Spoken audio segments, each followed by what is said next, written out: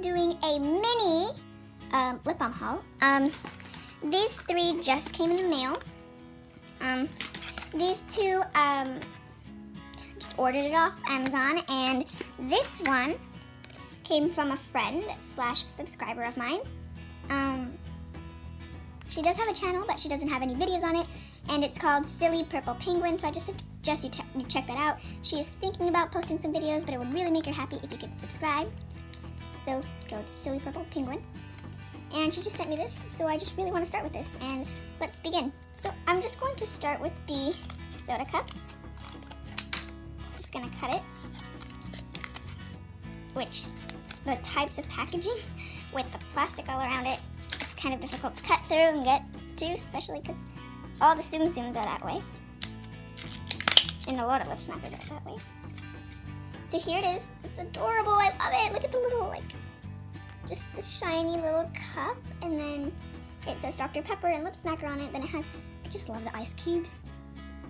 then it has these little ice cubes and the straw.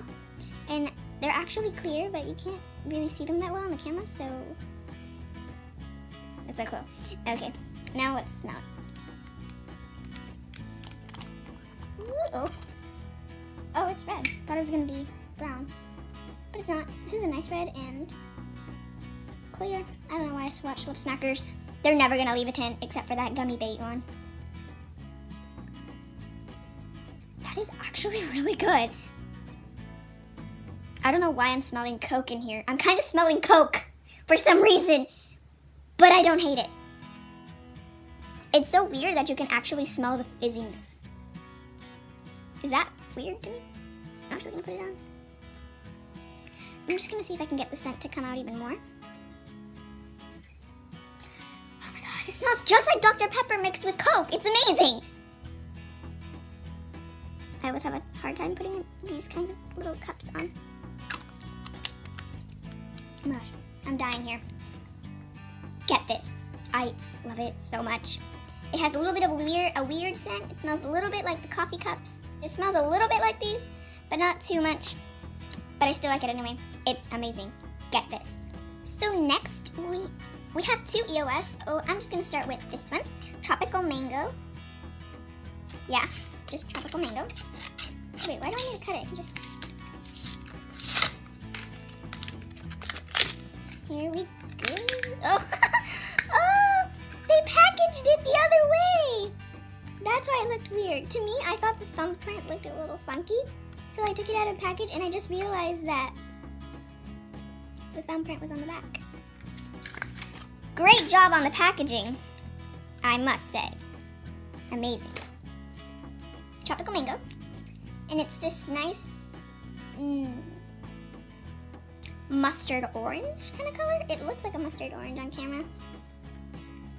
And it's this really nice, oh, looks weird, looks used, but it's not.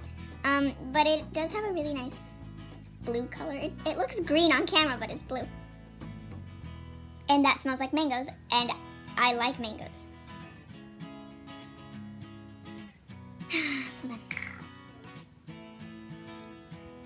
Here it goes. That smells just like mangoes. Next, we just have honey apple. Here's packaging, like a little apple.